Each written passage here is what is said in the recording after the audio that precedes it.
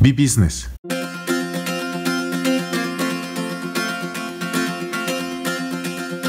Lo que me compré. Te lo oh, acabas de comprar, me estaba diciendo. ¿El XS?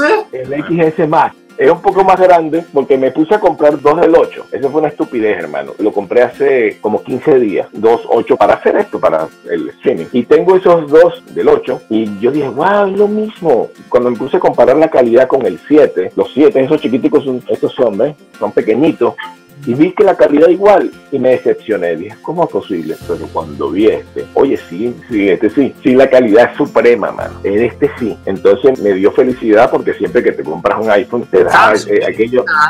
No, no. Ay, Yo me compré un Samsung nuevecito por la maravilla que hacía, las fotos que tomaba, le ganó, en ese tiempo le ganó al iPhone y yo me fui para allá. Igual que mucha gente se- de Canon se fue a Sony, a la A7 III y la A7 III, que son cámaras que valen 3 mil dólares. Los mil dólares vale la 7 y la 7R tiene un nombre larguísimo. Sony Max 3 7R. Es una cosa larga, pero bueno, la cosa es simple. La 7R le llaman. Y esta es la competencia esa. Apenas salió la Canon, ¡pum! Destruyó todo eso. Ahora, tú me preguntas a mí, como cineasta, porque esto está en la sangre a mí, el hecho de que estaba haciendo YouTube o en los camiones, entonces me quita eso. Yo estoy todo el tiempo estudiando, estudiando las nuevas tecnologías. Esa no le gana, no le gana a la Sony. Yo sé que estoy haciendo algo que, como gente que trabaja con Canon, dice, ¿cómo vas a decirle? Mucha gente que va a escuchar esto y se van a molestar, pero de verdad que está muy buena. Pero yo tengo mis lentes, todos mis lentes, como ustedes ven por allá, lentes, lentes, son Canon, puro Canon, no tengo Sony.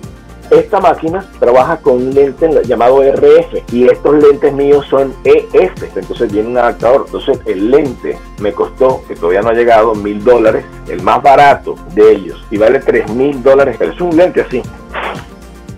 Entonces, bueno, total de que es una belleza y pienso hacer muchas cosas interesantes para convertir mi canal. Esto no se lo he dicho a nadie, no lo sabe mi gente que me sigue. Quiero convertir el canal cineasta, o sea, hacer como una especie de película, de short film, ¿entiendes? No necesariamente tenga que actuar yo. Por ejemplo, agarrar y poner a actuar a Lalo, dice, pero ¿cómo? Si Lalo está allá, tiene un hermano que es cineasta, que sabe mucho, que le puedo decir, hazlo aquí, ponlo allá, y esas tomas las utilizo acá, y en edición parece que estuviera aquí, que estuviera platicando conmigo. No, no, es una cosa que yo creo que se puede hacer.